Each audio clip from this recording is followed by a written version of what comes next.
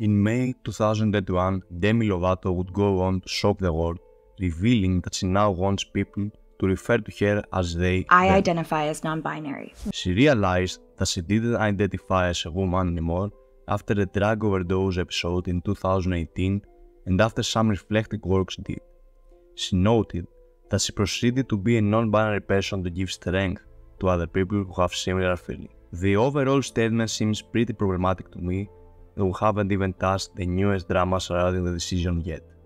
First of all, yes, Demi Lovato and her early years showed a really feminine side. I like you so much, and you always tell me how much you like me. Yes, right? I love you. Yeah, you love me.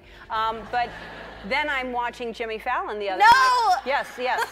yeah, I watch other television shows, and I watch Jimmy Fallon. I can explain. No, being 100% what most pop stars are, trying to make it at the top.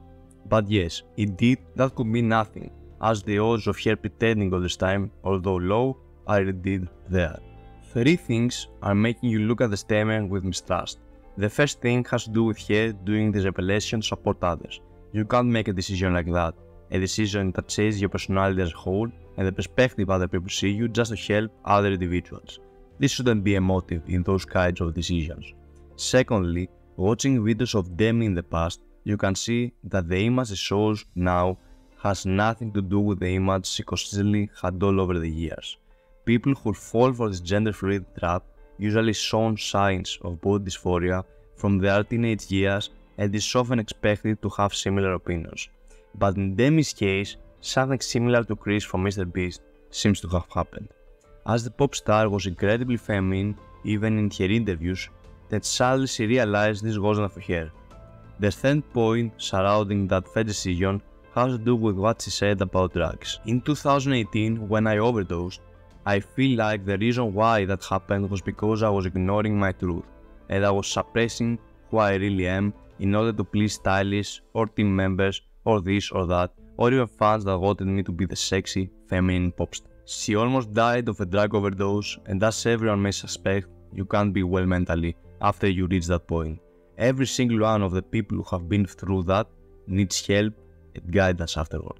And it was obvious that something was wrong with her mental health as we could see, she was also gaining a lot of weight, but we are going to talk in another video about the connection food has with bad mental health. With the existing propaganda, every person who doesn't feel well and is susceptible to finding a magical solution will think about gender fluidity. I'm almost certain that Demi took the pronoun change as a magical cure for her lack of enthusiasm and happiness in life. She uploaded a video where she informed the press. For many, this decision was rather strange, Many suspected that she also tried to revive her career this way, but I won't be so diffident. The year passed, and Demi was referred to as they them by people around her, but happiness was still to be found. It didn't solve the problem as many mischievous people nowadays promise. It may also have made it worse, and Demi at her lowest again.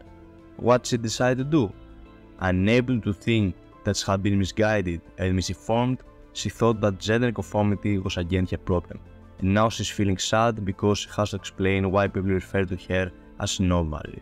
She's uploaded the video only a year after the first one, in which she informed everyone that she was to be referred as she her again because she was tired of explaining to people. The problem is not her.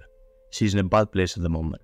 The problem is people around her are also buying into this gender fluidity nonsense and don't talk to her about her real mental problems. That she won't be happy again if she doesn't move on from that mindset and fix the looseness of her life. Many people are now saying that she came back to regain attention for people and make hit singles again. Her problem is deeper. She's a troubled mind, a soul that needs help, but people around her and therapists who deserve nothing misguide her, take the focus out of the real problems, and make her attached to an agenda that has produced so many people detached from reality. Apart from a really small minority of people, you don't need to change your gender or your pronouns. You are perfect as you are.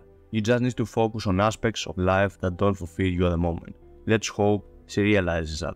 I was just psychology, and until the next one, I am out. Be careful.